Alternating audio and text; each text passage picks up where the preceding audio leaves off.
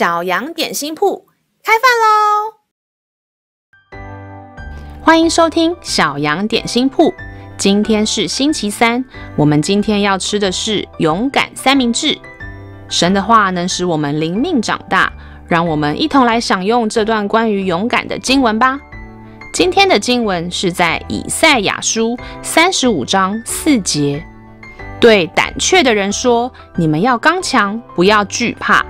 看呐，你们的神必来报仇，必来施行极大的报应，他必来拯救你们。”亲爱的小朋友，老师最小的孩子刚上一年级的时候，班上有一个同学对他说了一些话，让他很不开心。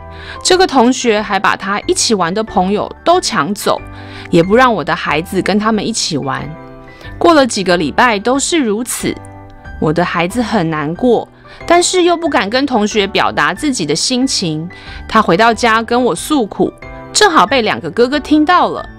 大哥是六年级，就很生气的叫他跟那位同学说，叫他小心一点。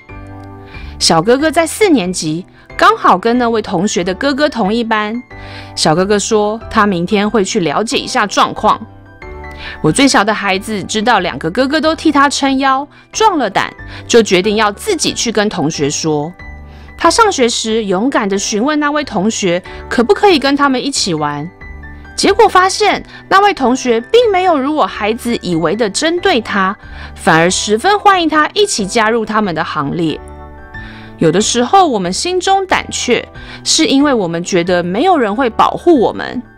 当我们知道我们有靠山，自然就会胆子大起来，因为有人帮我们出头，我们不用自己承担什么，就没有什么好害怕的。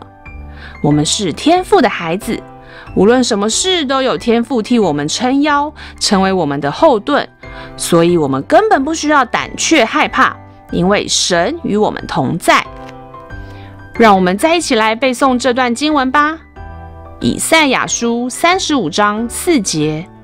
对胆怯的人说：“你们要刚强，不要惧怕。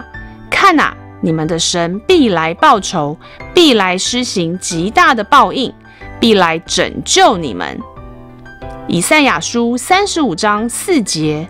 对胆怯的人说：“你们要刚强，不要惧怕。看呐，你们的神必来报仇，必来施行极大的报应，他必来拯救你们。”你都记住了吗？让我们一起来用这段经文祷告。亲爱的天父，谢谢你是我随时的依靠，求主帮助我明白我不是独自一人面对困难，帮助我有刚强勇敢的心。感谢祷告是奉靠耶稣基督的名，阿门。